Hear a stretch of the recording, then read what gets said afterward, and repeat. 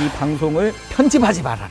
오. 처음부터 끝까지 편집 없이. 그러면 이제 자막 넣는 분들이 좀 힘들겠지만 돈을 조금 더 주면 되는 거 아니겠습니까? 그 돈은 혹시 민수님께서 조금 아 제가 네. 뉴스의 문턱을 낮추고 다양한 이야기를 들어보는 턱없는 인터뷰. 오늘은 민수 중의 민수 그리고 주식 전문가 최고 민수님을 모셔봤습니다. 안녕하십니까? 안녕하십니까. 많은 분들이 또 민수님을 기다리고 계셨습니다. 우리 그분들께 인사 한번 해주시면 감사하겠습니다. 네 안녕하세요. 주식 투자계의 찬호바 말 많은 TMI로 알려져인 최고민수입니다. JTBC 뉴스페이스에 나오는 이 소감이 좀 어떠십니까? 오늘 사실 이 JTBC 앵커 자리를 저는 테스트 받는 자리다 이렇게 생각을 하고 왔거든요. 아 진짜요? 네, 그래서 이 자리가 오늘 좀 위험하게 네. 열심히 한번 해보겠습니다. 우리 최고민수님이 한번 과연 앵커의 자질이 있는지 편하게 한번 이야기 나눠보도록 하겠습니다. 알겠습니다. 우리 최고민수님의 본명은 박민수님이십니다. 맞습니다. 근데 최고민수라고 혹시 이름을 이렇게 바꾸신 이유가 동방신기를 추구하고 계신 그런 추구미가 있으신 건지. 이게 그 침착맨 오. 친하신 분이잖아요. 네, 이병건님. 네, 이병건님께서 만들어주신 그 밈입니다. 제가 너무 말이 많으니까 네. 제발 말 좀 고만하라고 선생님 최고예요 이렇게 방송 중에 했는데 그 밑에 자막이 최고 민수가 됐고 어, 네네. 제가 이제 웃자고 최고 민수입니다 이랬는데 너무 좋아하더라고요. 어, 이게 혹시 왼쪽에서 오른쪽으로 이렇게 하신 이유가 있습니까? 아니면 오른쪽에서 왼쪽으로 하실 수도 있는데. 제가 이제 오른손잡이다 보니까 이렇게 이제 하게 된 거고요. 왼손잡이면 이렇게 가지 않았을까. 아. 그리고 이거는 약간 기우는 느낌이네요. 기운. 지금 해보니까. 네네네. 주식은 이렇게 우상향 아니겠습니까? 우상향을 지향하고 계신 네, 최고 민수님. 제가 원래 필명이 sand tiger shark거든요. 오, 이게 어떤 의미입니까? 한 번 먹이를 물면 놓지 않는다. 제 주식 투자 원칙인데요. 네네. 손해 보고 파는 거를 절대 안 합니다. 오. 그래서 제가 오늘 방국봉 앵커를 만났으니까 네네. 오늘 꽉 물어가지고 네네. 예, 저의 그 하고자 하는 바를 오늘 꼭 이루도록 하겠습니다. 최고민수님. 네. 정확하게 어떤 일을 하고 계십니까? 아 저는 이제 다섯 가지 직업이 있습니다. 첫 번째는 이제 회사원입니다. 어, 여의도 증권 유관기간 25년 차. 유관기관? 유관기관이라고 해서요. 네네네. 증권사는 아니고 어. 증권 어떤 제도나 그리고 시스템을 만드는 그런 일들을 하는 곳입니다. 더 알면 다칩니다. 네. 그래서 한 직장을 25년째 다니고 있고요. 그 다른 분들은 그냥 자영업자인 줄 아시는데 네. 네, 기본적으로는 직장인입니다. 그러니까 그래서 본진이 있으신 거잖아요. 네, 오, 그래서 예, 해지 전략으로 예, 오. 직장을 다니고 있고요. 두 번째로는 그 주식책 저자입니다. 다섯 권의 책을 작가님이시네. 10만 권이 팔린 주식 공부 5일 완성의 저자. 10만 권. 야, 예. 베스트셀러가 만 권인데 네. 곱하기 10배니까 베스트 베스트 베스트셀러네요. 베베베베베스트셀러 작가입니다. 그 다음에 이제 강의도 하고 있습니다. 주식 투자 강의. 강의 시간은 어느 정도? 강의는 32시간밖에 못 하고 있습니다. 더 하고 싶은데 그 강의 업체에서 네. 예산이 한정돼 있다고 32시간만 하라고 해서 그다음에 네 번째로는 유튜버. 어, 또 유튜브를 하고 계시잖아요. 네, 요즘 힘쓰고 있는 건 이제 여행. 여행. 네, 그래서 오늘 제가 나온 이유도 바로 여행입니다. 어, 아직- 오늘 방국봉 앵커를 기타큐슈로 제가 끌고 가기 위해서 오늘 이 방송을 나왔거든요. 기타큐슈. 네, 범이랑 갔던 아, 그리고 침착맨이랑 갔던 sand tiger shark 한 번 먹이를 물면 놓지 않는다. 당신을 기타큐슈로 데려가겠습니다. 예. 순례길. 세 번째 순례자로서 이 산티아고 순례길처럼 같이 계시는 분들도 출장 한번 가고 얼마나 좋습니까? 그 경비를 민수님이 가능하신 겁니까? 아 제가 내라고요? 예. 네, 내줘 뭐 그럼. 우와! 네. 저 이거 물 저 놓치지 않습니다. 이 편집해 주세요. 아니 아까 롱테이크로 가자고 하셨잖아요. 아 이 부분만 편집해서 다섯 번째. 마지막으로는 가장 중요한 역할입니다. 어떤 겁니까? 저희 아들의 아빠입니다. 네, 가장 힘든 일입니다. 아. 제가 17살 쌍둥이 아들을 키우고 있는데요. 세상에서 가장 극한 직업이 저희 쌍둥이 아들의 아빠인 것 같습니다. 극한 직업이신데 그 직업이 또 너무 좋으시잖아요. 좋긴 좋은데 시도 때도 없이 연락해가지고 아빠 2만 원만 보내줘. 뭐 하려고 어, 국밥 사 먹게. 뭐 이렇게 하고요. 오늘 기말고사 보는 날이거든요. 네네. 어김없이 아빠한테 전화해가지고 네. 통닭을 한 마리 요기요로 배달시켜달라고 다 하기도 하고 즐겁지만 나름의 고충이 있는 아드님들과 그러면 대화를 많이 하십니까? 저희 아들도 감이 오지 않습니까? 육아법 중에 하나가 네. 어려서부터 이렇게 대화를 많이 하라고 그러더라고요. 그래서 그쵸. 그 쌍둥이를 키우는 방법은 앞에 하나 안고 뒤에 이렇게 하고 너무 어린 애들은 이렇게 머리를 보호해 줘야 되거든요. 이렇게 하고 계속 이제 한 세시간씩 떠들어 줬죠. 빨리 그 말을 트이라. 빨리 튀었습니까? 말이 많더라고요. 왜냐면 또 이제 들은 것이 많기 때문에. 네, 그래서 이제 기분 좋으면 아빠한테 계속 얘기를 하고요. 17살 남자애가 아빠랑 그렇게 대화하는 게 쉽지 않다고 그러더라고요. 어, 그럼요. 네, 근데 저희 애들은 막 쉼없이 떠들고 막 그렇습니다. 잠깐의 시간이었지만 대화를 나누면서 너무나 박학다식 하셔서 아는 것들이 너무 많으시잖아요. 네. 그만큼 또 이제 말씀하시고 싶은 게 많은 거 아닙니까? 말하고 싶은 것도 많지만 기본적으로 저희 어머니의 DNA를 받았거든요. 고향집에 가면 저희 어머니가 계속 이렇게 이제 하루 종일 얘기를 하시거든요. 설파를 해주시는군요. 네, 그래서 저는 저희 고향집에 가면 어머니를 피해 다닙니다. 어머니가 또 말씀이 아, 죄송합니다. 많으셔서 그리고 이제 저희 어떤 외가 쪽에 무슨 행사가 있으면 네. 저희 외삼촌이 그렇게 말씀이 많으세요. 아. 그래가지고 한 번 잡히면 한 3시간씩 이렇게 이야기를 들어야 되거든요. 말을 많이 한다는 거에 어떤 디폴트 시간은 3시간이 기준이군요. 그렇죠. 네. 아. 그래서 제가 침착맨 보통 출연하면 한 7시간에서 8시간을 하거든요. 쉼 없이 딱 이렇게 비는 시간은 화장실 가는 그 시간만. 그래서 오늘 저는 이 방송을 편집하지 말아라. 오. 네. 우리 방송을 처음부터 끝까지 편집 없이. 그러면 이제 자막 넣는 분들이 좀 힘들겠지만 돈을 조금 더 주면 되는 거 아니겠습니까? 그 돈은 혹시 민수님께서 조금 아 제가 네. 그럼 제 출연료에서 깎아주시면 되겠습니다. 우와. 네. 지금까지는 민수님과 이야기 나누면서 너무 즐겁습니다. 너무 재미나게 또 이야기를 해주셔가지고. 아, 이 제가 사실 개그맨 분들과 대화를 하면서 이렇게 말을 잘 들어주시는 분은 처음이에요. 어, 그렇습니까? 예, 제가 경영자들 나가서 말만 하려고 그러면 황모 개그맨께서 계속 잘라가지고 황모 씨의 아들 재성군인가요? 예, 그분이랑 광모 씨가 잘라가지고 말을 너무 하고 싶었는데 못해서 네. 혼자 집에 가서 막 혼자 말 떠들고 그랬었습니다. 근데 오늘 이렇게 말씀을 이렇게 제대로 들어주시니까 네네네. 너무 뭐 즐겁고 네네. 오늘 방송 내일까지 했으면 좋겠습니다. 내일 휴가 내고 우리 방국공님 일정만 괜찮으시다면 여기 카메라 한다 켜고 네네. 내일 새벽까지 아니 뭐 내일 저녁까지 가능합니다. 어, 너무 네. 좋습니다. 네. 먼저 첫 번째 직업인 25년 차의 베테랑 우리 최고민수님께 질문이 있습니다. 처음에 3천만 원으로 시작해서 7년 만에 8억을 버셨다고 알려져 있습니다. 네. 그때 혹시 구매하셨던 효자 종목 있습니까? 기억이 안 납니다. 네. 왜냐하면 모든 게 효자 종목이거든요. 저는 한 번에 100%난 종목들이 없거든요. 아... 10%, 20% 이렇게 계속 수익을 내고 snowball 효과라고 혹시 아십니까? 점점 커져가는 방국공 앵커의 지식 수준이 이렇게 높은지 리그 오브 레전드라는 게임을 하다 보면 아 그렇습니까? 네, 거기에도 snowball 작은 게 이제 아. 나중에 커질 수도 있다. 그렇군요. 그래서. 좋은 종목을 사서 10% 20% 꾸준하게 수익이 나다 보니까 네. 그러니까 이렇게 이제 늘어난 거지 어. 한 걸음에 여섯 계단 이렇게 올라가지는 않았고요. 음. 한 계단, 두 계단, 한 계단, 두 계단 이렇게. 아니 그래도 3천만 원에 8억이라는 이게 어마어마한 퍼센트지 않습니까? 그렇죠. 처음에 3천만 원이 1억이 되는 건 되게 오래 걸리는데요. 네. 1억 원이 이제 2억이 되고 2억이 4억이 되고 4억이 8억이 되고 이 과정들은 같은 프로세스인데 금방금방 가거든요. 돈이 돈을 벌게 해주는 거군요. 그래서 대부분 주식 투자를 하시는 분들이 소액으로 많이 하시잖아요. 네네. 근데 소액으로 하실 때, 아니 뭐 없어도 되지 뭐 잃어도 되지 뭐 이렇게 투자를 하시거든요. 네네. 근데 이제 금액이 커지면 그 습관대로 하시니까 많이 잃어요. 아. 그러니까 처음에 막 50만 원, 100만 원 할 땐 따다가 1000만 원, 2000만 원 하면서 잃는 이유가 처음 투자 습관이 요행수를 많이 바라는 투자 습관으로 하다 보니까 실패를 하게 되는 거고요. 네. 더 자세한 사항은 저랑 한 1박 2일 정도 이렇게 침낭을 이렇게 들쳐엎고 소근소근 고구마 까먹으면서 제가 A부터 Z까지 다 알려드리도록 하겠습니다. 아.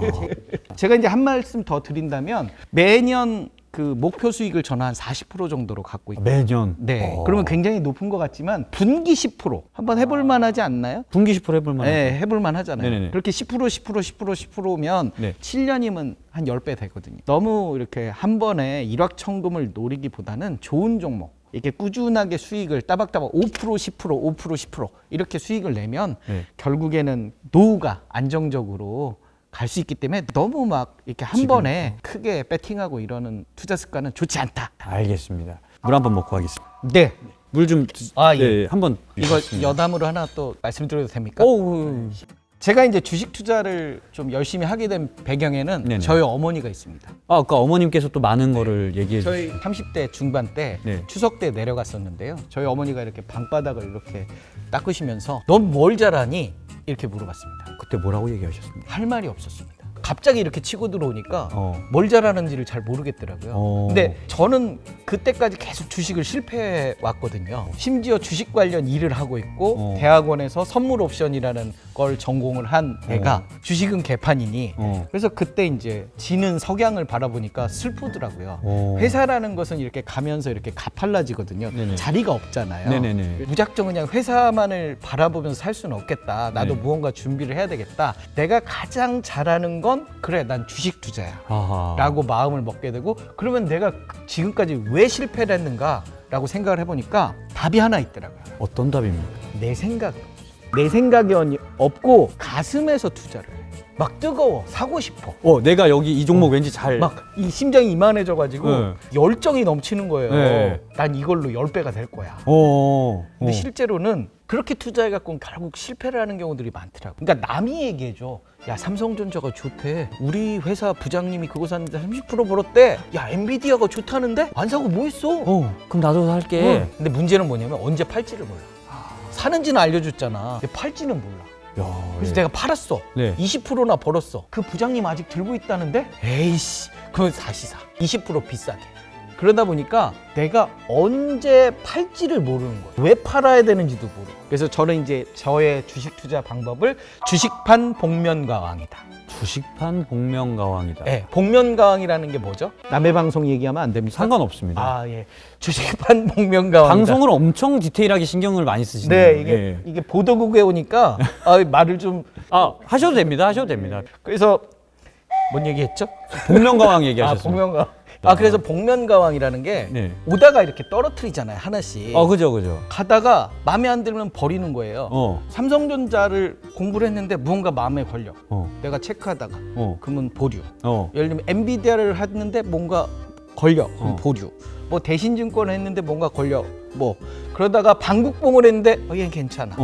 어. 방국봉을 사야지 결정을 하는 데까지 일주일이 걸리는 거야. 내 생각이 들어가는. 내 거예요. 생각이. 아. 왜 사야 되는지. 어. 그리고 언제 팔아야 되는지. 그리고 왜 사면 안 되는지. 어. 그걸 일주일을 고민하는 거죠. 그렇게 일주일을 고민해서 샀는데 팔아야 되겠습니까? 손해 본다고? 어. 20% 손해, 40% 손해. 물고 늘어지는 거죠. 왜냐 나는 이 종목이 좋으니까. 그래서 복면가왕이기도 하지만 주식은 결혼이다. 아니 아까 방금까지만 해도 주식은 복면가왕이다라고.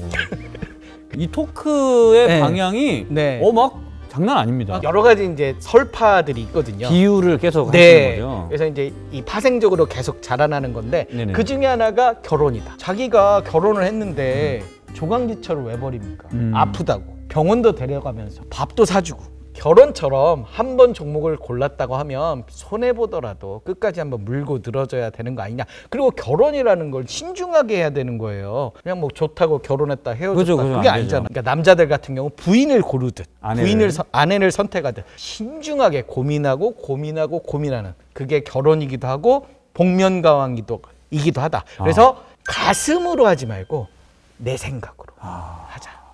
이런 말씀을 잠시 쉬어가는 마당에 드리고 싶었습니다. 어 이게 한 주제 아니었습니까? 아니요, 짧게, 짧은 아. 여담. 여담. 아하. 네. 잠깐 쉬어가는. 네, 이게 길게 빼면 32시간도 가능합니다. 요 여담 하나로 32시간이 네, 아. 투자 전략, 케이스 스터디 얼마든지 오. 가능합니다. 첫 번째 질문이 좀 길었 습니다, 답이. 아직 한 장이 안 넘어갔습니다. 하지만 여러분들과 함께 택시비 주나요? 그건 오늘 민수님께서 다. 아, 제가 네네네. 알겠습니다. 요것도 편집. 아니요. 이건 괜찮습니까? 네, 내일 아침에 보내면 되니까. 어. 저는 이제 주식을 한 번도 안 해봤습니다. 아, 그렇습니까? 저같이 주식을 잘 모르는 사람들도 주식 명언은 들어봤습니다. 무릎에 사서 어깨에서 팔, 팔아라. 만약에 근데 엔비디아처럼 가격이 관자놀이까지 올라가 있는데 이런 것도 사도 되는 겁니까? 아, 사도 된다. 관자놀이여도 저는 이제 배꼽이라고 얘기하고 싶습니다. 아, 아직 다만 그 배꼽으로 보는 기준이 언제냐? 그 기준이 뭐냐면 실적이에요. 돈을 얼만큼 버는가. 근데 몇 년 후에 돈으로 생각할 거냐. 그러니까 지금 버는 돈으로 하면 관자놀이일 수도 있고 아니면 머리를 뚫고 나갈 수도 있어요. 그렇죠. 그런데 2년 후, 3년 후 그때에 벌어들인 돈을 기준으로 하면 배꼽이다. 오. 또는 뭐 무릎이다. 오. 이렇게 볼 수가 있는 거죠. 그 주식을 투자를 할 때 지금까지 번 것만 보거든요. 앞으로 얼만큼 벌 거냐. 이게 더 중요한 이 거거든요. 회사가 그렇죠. 제가 방국봉이라는 양반한테 투자를 하는데 내가 투자를 하는데 지금까지 예를 들면 100억을 벌었어. 근데 앞으로 80억을 번대. 그러면 떨어지게 돼 있는 거예요. 근데 1000억을 번다.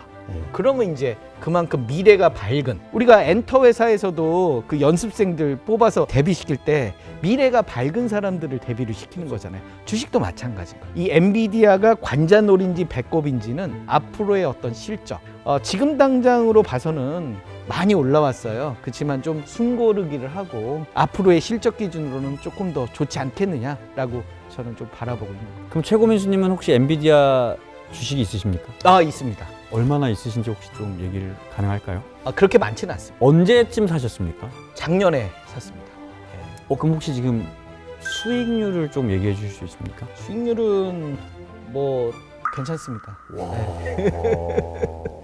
어, 그게 딱 보이셨습니까? 일주일 동안 생각을 하시면서. 그 장기 투자 관점에서는 미국의 테크주들이 괜찮다라고 생각을 하거든요. 어... 왜냐하면 기술적으로 굉장히 압축되어 있고 선진화된 기업들이 많이 모여 있는 시장이 미국의 어떤 기술주 시장이고 하나의 예, 좋은 그런 어떤 미래 전략이 아닐까 해서 최고민수님 저 그럼 여담으로 하나만 더. 저희 같은 경우에는 이제 연예계에 관심이 많잖아요. 네. 어떻게 보면 엔터주 같은 것들에 네. 대해서 좀 관심이 더 많이 가고 네. 예를 들면 어떤 일련의 사건으로 이 회사의 그 주식 가격이 좀 떨어졌습니다. 그럼 이때 사서 이 회사는 언젠가 또 많은 다른 아티스트들이 있어서 음. 이건 언젠가 오를 거다. 이렇게 하는 투자 같은 경우는 어떻게 좀 보십니까? 그러니까 엔터주도 결국은 기본적인 움직임은 실적이에요. 예를 들면 BTS가 군대를 갔어요. 그러면 실적이 나빠지는 거죠. 그럼 그때 샀어. 다시 제대를 해. 제대를 해. 그럼 언젠가 오르잖아요. 네. 엔터주에 대한 특징이 하나 있어요. 사람 장사예요. 아하. 사람이라는 건 못 믿을 존재예요. 그러니까 믿었던 우리 에이스 어. 아이돌이 어느 날 좀 안 좋은 사건에 연루가 돼. 그러면 이렇게 주가가 훅 빠지고요. 어. 두 번째, 믿었던 우리 아이돌이 재계약을 할줄 알았는데 딴 데 갔네? 그럼 주가가 훅 빠지고. 그 사람이 어떻게 좀 잘못돼서 이게 어. 주가가 좀 흔들리는 그런 케이스들도 있고요. 우리나라 엔터 산업의 주된 어떤 매출처가 원래 중국이었어. 아하. 그래서 중국의 그 한할령이라고 음. 이 한국의 어떤 컨텐츠나 문화를 더 이상 쓰지 마라. 한국의 관광도 가지 마라. 음. 이래가지고 한할령의 어떤 피해를 이 엔터주들이 조금 받아서 작년 같은 경우는 엔터주들이 굉장히 많이 올랐거든요. 음. 네, 분위기가 좋았는데 작년 대비해서 올해 조금 실적들이 예측치보다 좀 안 좋아요. 그러면서 엔터주들이 올해는 조금 힘든 그런 시즌을 좀 보내고 있는데 기본적으로는 이렇게 실적이 쭉쭉쭉 올라줘야만 엔터 산업들도 이렇게 주가가 올라가는 그런 특징을 보여주는 겁니다. 제 주변에서도 그렇고 많은 분들이 주식을 좀 쇼핑처럼 생각하시는 분들이 계십니다. 네. 그래서 잘 될 것 같은 주식을 좀 찾으려면 어디를 봐야 되겠습니까? 아 제가 사자성어를 하나 얘기해도 되겠습니까? 너무 좋습니다. 네, 따라해 주시면 좋을 것 네. 같습니다. J, J, T, T, B, P, C. JTBC. 네. 어, 사자성어라고 하시지 않았습니까? 네, KBS에 나왔으면 KBS라고 할 텐데 JTBC니까 국내 최고의 뉴스 방송 아니겠습니까? 뉴스페이스. 뉴스페이스. 네. 그래서 JTBC 뉴스에 모든 답이 있습니다. 어, 진짜요? 네, 뉴스의 가장 핫한 종목들. 엔비디아도 결국 뉴스에서 다 거론되는 거고요. 하루마다 세 종목씩 세 개의 뉴스를 뽑아봐라라고 얘기를 하거든요. 어. 베스트 뉴스 세 개면 투자할 종목, 분석할 종목이 나오거든요. 오늘 혹시 아침에 뽑으셨던 세 개의 종목 있습니까? 아 오늘 아침에요. 네. 갑자기 훅 치고 들어오니까 생각이 잘 안 납니다. 저는 브로드컴을 좀 봤었고요. 어, 예. AMD. 어, 예. 네, 그리고 아, 삼성전자. 오. 이렇게 아침에 했습니다. 근데 뉴스에 나올 정도면 이미 다른 분들은 그 정보를 알고 미리 사지 않았을까 하는 게 저 같은 생각이 있거든요. 여기서 또 암기해야 될 핵심 포인트 하나 있습니다. 핵심 포인트 하나. 더 나올 뉴스가 있는가? 아하. 그러니까 뉴스는 나왔는데 앞으로 이 분위기를 끌고 갈 더 나올 뉴스가 있는가? 그러니까 뉴스가 끝물이라는 말도 있어요. 그거는 이제 기다렸던 뉴스가 터져버린 거고 기다렸던 뉴스가 나왔는데 더 나올 뉴스가 있는가? 더 나올 뉴스가 있으면 사람들이 관심을 더 갖게 되고 관심은 거래량을 일으키고 거래량은 주가 상승으로 이어지는 게 하나의 투자 패턴이거든요. 그래서 더 나올 뉴스가 있는 가장 큰 핵심은 실적 개선이거든요. 오늘 이제 나온 뉴스 중에 하나가 삼성 바이오로직스가 뭐 계약을 새롭게 체결을 했다라는 기사가 나왔거든요. 그 부분들이 이제 실적으로 더 이어질 거냐? 그거는 이제 나의 분석으로 해서 더 이제 실적이 좋아질 것 같다. 계약이 추가로 이어질 것 같다. 이러면 이제 주가가 더 상승을 하는 거고. 방산주 같은 경우도 요즘 우크라이나 전쟁으로 또 핫하지 네, 않습니까? 이 유럽에서 그쵸. 그게 하나의 화두가 되면서 수출이 이어지면서 이 실적 개선이 이루어지고 주가 상승세를 보여줬거든요. 그래서 그 첫 뉴스를 보고 그 다음 후속 뉴스들을 분석을 해보고 기업의 어떤 실적 예측치들을 확인해보고 이런 과정들을 일주일 정도 해봐야만 하나의 그 어떤 모멘텀을 갖게 되는 거죠. 오늘 최고민수님 이야기를 들으면서 저는 이번 주에 좀 복권을 살까 합니다. 아 그렇습니까? 네, 지금 계속 몇 가지의 그 포인트 되는 숫자들을 계속 얘기해주고 계십니다. 아. 초반에 3이라는 숫자를 계속 얘기해 주셨고 네. 지금 와서 7이라는 숫자를 계속 얘기하고 계십니다. 아 저도 적어놔야죠. 같이 삽시다. 중간중간 제가 한번 그 숫자를 한번 찾아가 보도록 알겠습니다. 하겠습니다. 우리 뉴스페이스에 시청해 계신 우리 시청자 여러분께 혹시 두 개만 안전한 주식 혹시 꼽아 주실 수 있습니까? 안전한 주식은 없습니다. 두 개는 꼽을 수 있는데 네. 안전하진 않습니다. 왜냐하면 주식은 은행의 예금처럼 원금을 보장해 주지 않거든요. 음. 그래서 안전한이라는 게 어느 정도의 안전함이냐. 원금을 잃지 않겠다라고 네네네. 하면 사실 안전한 주식은 없는 거고요. 어, 네. 그 중에 이제 덜 좀 불안한 어, 그런 주식들을 찾는다고 하면 지금 사도 되는 아 지금 사도 되는 네네. 이게 안전한데 지금 사야 되는군요. 네네, 그렇죠. 아 이거 굉장히 어렵습니다. 땀이 삐질삐질 나는데 귀를 쫑긋하시고 아 이게 천기 누설이라서 첫 번째는 배당주입니다. 배당주. 네, 배당이 뭘까요? 어떤 뭐 정배냐. 훅 치고 들어오는군요. 아 역시 아, 그 배당 아닙니까? 배당이 이제 회사가 돈을 벌면 그 중에 일부를 주주들한테 그쵸, 그쵸. 나눠주는 유식한 말로 주주 환원. 주주 환원. 네, 네네. 그래서 그 주주에는 나도 껴 있어요. 그죠. 그러니까 나한테 주는 선물일 수도 있거든요. 어. 찬바람이 불면 배당주라고 어. 아십니까? 찬바람이 불면 배당주. 네. 배당주가 보통 기준을 12월 말로 해요. 이제 또 계절도 이게 좀 타는군요. 네. 그래서 이제 어떤 기준 을 주고 배당을 줘야 되잖아요. 어. 그래서 보통은 이제 연말 기준으로 많이 배당을 우리나라 국내 주식들은 그러거든요. 그래서 연말이 가까이 오면 배당주들이 이제 배당 받으려고 아하. 올라가는 추세가 있거든요. 배당주에 좀 속하는 좋은 좀 얘기해 주실 수 있습니까? 이제 국내 기업 중심으로는요. 은행, 은행도 너무 많잖아요.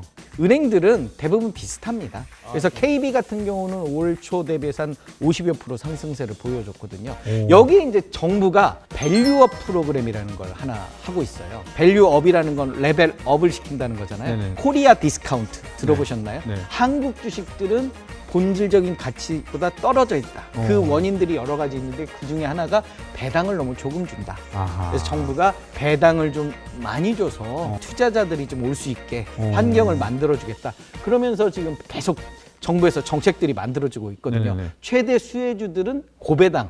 배당을 많이 주는 기업들이거든요. 그쵸, 그쵸. 그래서 고배당의 대표적인 기업들이 이제 은행, 증권, 보험, 보험. 뭐 이런 기업들이기 때문에 그런 기업들의 주식들을 좀 관심 있게 가지시면 좋지 않을까라고 생각이 듭니다. 그리고 하나는 두 개 중에 하나. 하나는 이제 그 삼성전자. 아하. 삼성전자가 주가가 내려가면 우리나라 증시가 안 되지 않습니까? 그렇죠. 그래서 염원을 담아서 삼성전자.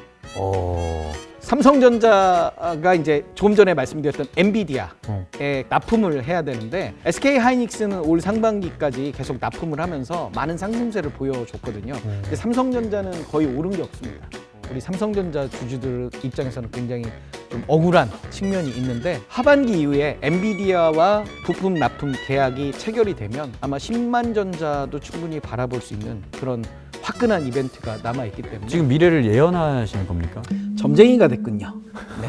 주식이라는 건 앞으로 예측하는 건 사실 쉽지 않아요. 왜냐면 내가 믿었던 그 기업이 어떤 기술 개발에 실패할 수도 있는 거고 기술 개발에 실패할 수 있는 가능성도 있지만 엔비디아 입장에서는 이 부품을 수입하는 회사가 많을수록 가격을 다운시킬 수가 있거든요. 독점해서 한 기업에 받는 것도 좋지 않기 때문에 그리고 그 자기들이 팔기 위한 수요도 많기 때문에 이런 부분들을 감안한다면 삼성전자도 하나의 기회가 될 수 있지 않을까라고 저는 개인적으로 생각을 하는데 여기 자막을 하나 넣어주시면 좋을 것 같습니다. 투자는 자기 판단하에. 어, 예. 그래서 저는 이제 하나의 조언을 드리는 거고 네. 이거에 대한 생각은 한 일주일 정도 고민을 하셔서 음. 또 투자 판단해 보시면 좋지 않을까. 이프 질문 하나 드리겠습니다. 네. 만약에 누군가 투자 원금이 1억이 있다면 국장, 그다음에 미국, 코인 중 어디에 어떻게 투자하는 게 더 좋겠습니까?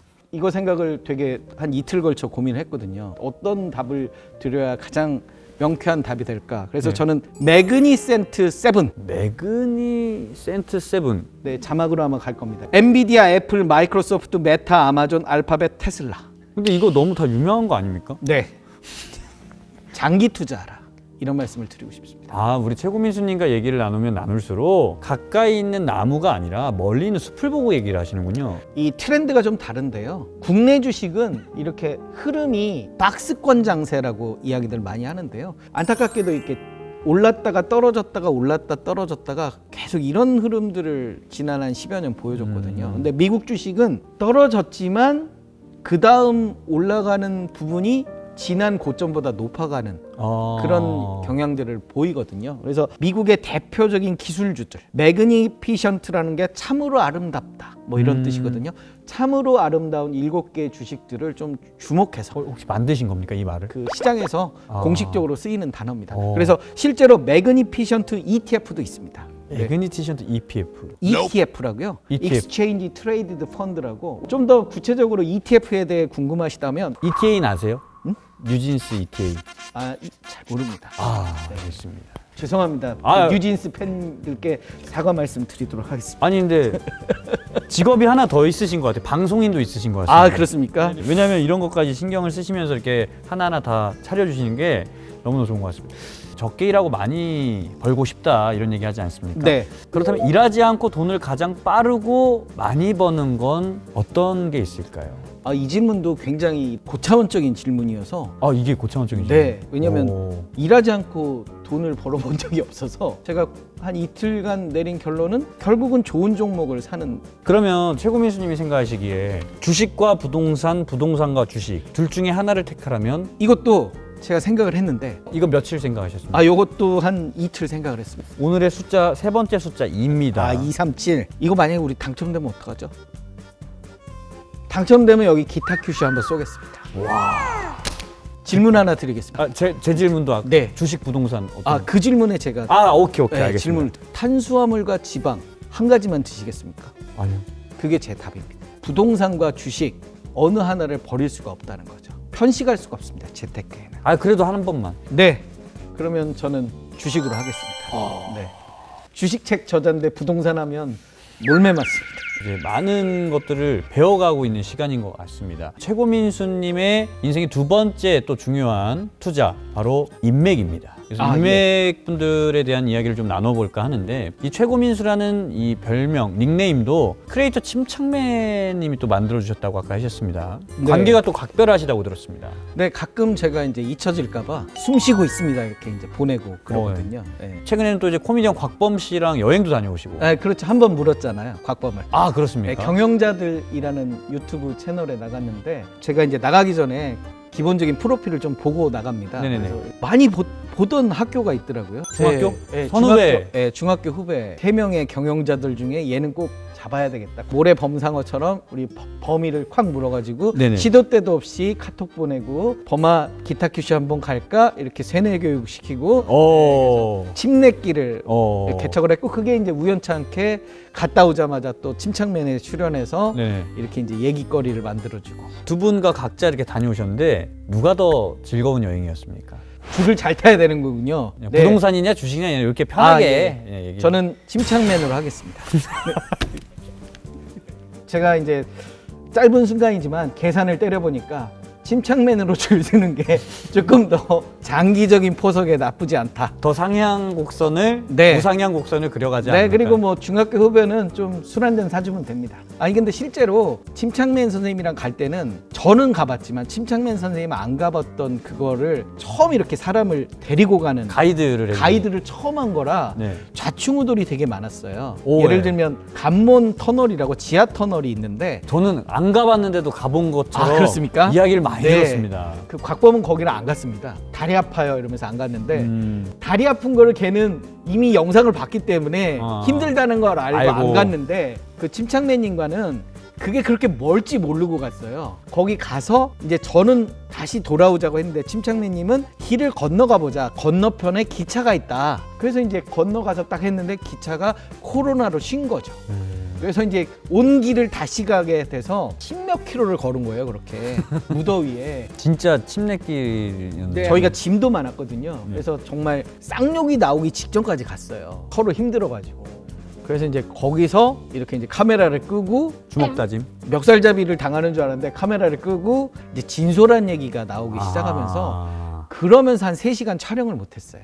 그 커피숍에서 앉아가지고 침착맨 선생이 저한테 그런 얘기를 하더라고요. 어떤 일? 이제부터는 말을 놓으세요 그러더라고요. 오. 네, 그래서 말을 놓으라는데 잘 안 되더라고. 오. 왜냐면 계속 이렇게 서로 존대해왔고 그 시간이 너무 좋았어요. 그리고 이제 갔다 와서 저희 집도 한번 오고 그분 집도 한번 가고 그분 집 근처에 이렇게 산책도 좀 하고 뭐든지 네. 처음 가는 그 길이 상당히 의미가 있었던 것 같고 첫 주식 했을 때 같은 거잖아요. 그러니까 마음은 되게 불안했어요. 그죠. 왜냐면 뭔가 이제 영상을 찍는데 내가 잘 보여야 좋, 좋은데 막 실수 투성이고 예를 들면 저녁에 너무 많이 먹였어요. 맛있는 걸 또 먹, 예. 먹게 해주고 싶으니까. 그래서 다음 날 배탈 나시고 뭐 이런 범인은 아주 그냥 잘 먹고 곽범 씨가 그 맥주를 먹으면서 음. 형님 다른 사람 이야기도 좀 들으셔야 돼요. 맞습니다. 이런 발언을 했다고 했는데 범이가 그 말 하기 전에 저 해병대 나왔어요 이랬거든요.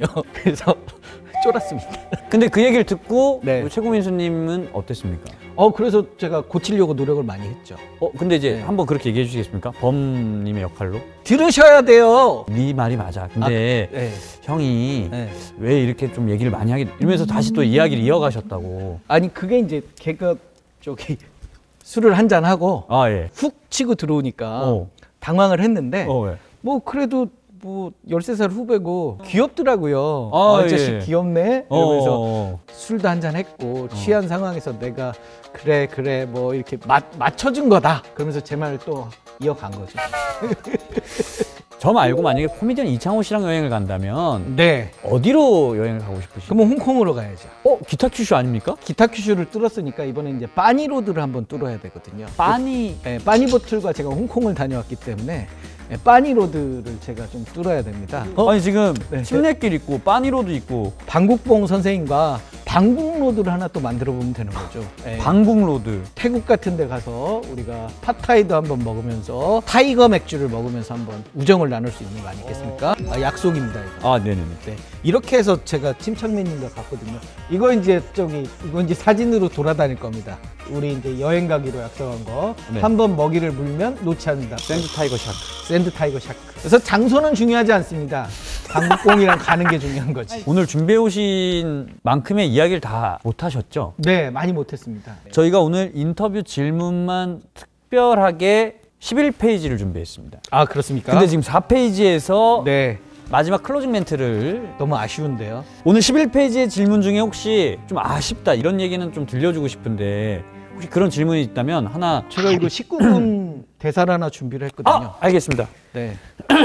본인이 그럼 질문하시고 본인이 답해 주실 수 있는지 혹시 제가 지금 목에 조금 무리가 와서 아, 혹시 좀 그렇습니까? 부탁드리겠습니다 앵커 자리에서 아닙니다, 아닙니다. 아, 또 한번 연습하셔야 되니까 아 그렇습니까? 네네. 아 또. 이- 자 진행하겠습니다. 혹시 계절이나 시즌별로 오르는 주식이 따로 있나요? 그다음에 여기 아 여기서 합니까? 네네. 앞에 주- 아 이런 또 배려를 해주시고. 아 예, 아닙니다 아닙니다 자 여름이면 정전이 되면 오르는 주식이 두 개 있습니다. 정초 양초 아 양초. 예아 좋은 아이디어입니다. 양초를 만드는 상장사가 없어서 불이 꺼졌습니다. 불이 꺼졌어 불이 꺼졌습니다. 어 콘돔 맞췄습니다. 혹시 그런 것만 생각하시는 거 아닙니까? 네, 그래서 콘돔 회사. 진짜요 네, 불 꺼지면 뭐 하겠습니까?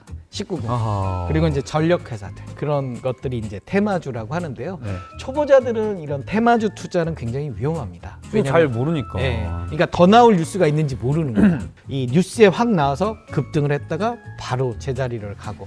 아, 이런 투자보다는 아까 앞서 설명드렸던 배당주. 여기서 이제 뎁스를 좀 더 깊게 하면 뭐 시가 배당률이라든지 배당 성향이라든지 이런 어려운 이야기들을 해야 되는데 이거는 이제 다음번에 좀 더 진지하게 말씀을 드리도록 하겠습니다. 주식계 최고 최고 민수님과 함께하고 있습니다. 만약 JTBC 뉴스에 나오시게 된다면 어떤 헤드라인으로 나오고 싶습니까? 제가 고민을 해봤는데요. 네. 그래서 이 자리는 내 거다 이야기를 아, 드리고 싶습니다. 아니, 근데 감사합니다. 턱없는 인터뷰의 마지막 코너 보이스톡인데요. 마이크를 턱에 대고 10초간 말씀하시면 되는데 혹시 10초 동안 이야기를 해보신 적이 있습니까? 어, 이거는 너무 짧습니다. 그러면 오늘 한번 도전해 주시면 네. 자, 시작! 보내주세요 기타 큐슈 한국공과 함께 아직도 남았습니까? 아 끝났습니다. 아 예. 이런 모습은 처음이십니다. 시간이 남은 거는. 아니, 아니 핵심만 얘기하다 보니까 10초 안에 모든 이야기를 다 하실 수 있는 분이셨네요. 아 그래요? 오히려 좋아. 아, 이러면 고맙다. 30초, 이러면 30초가 됩니다. 두 개의 녹화 분량을 찍을 수 있을 만큼의 시간이 흘렸습니다. 네 원본 사수해 주셨으면. 길게 촬영을 했는데 그 시간이 지루하지도 않고 아이, 너무? 즐겁고 아이, 재밌었습니다. 다행입니다. 방국봉님과 기타큐슈로 가서 그 영상이 한 100만 view가 되는 게 아니 아까 네. 홍콩 홍콩 간다고 하지 않았습니까? 아 그렇습니까? 네. 아니 홍콩 기타큐슈 태국 중에 어디 어디입니까? 딱 그럼 세 군데 다 가시죠. 네. 네. 사실 depth를 어느 정도까지 해야 되느냐 고민을 했거든요. 네네네. 그래서 깊이 들어가면 깊이 들어갈수록 또 재미가 없기 때문에. 좀 더 즐거운 마음으로 이렇게 투자하셨으면 좋겠다. 차트를 뒤집어 봐라. 그러면 손해가 수익이 되는 어. 그런 마법이 펼쳐지거든요. 오늘 그 마법 같은 일들이 보신 시청자분들에게도 꼭 일어나시면 좋겠습니다. 오늘 나와주셔서 진심으로 감사합니다. 아 예, 감사합니다.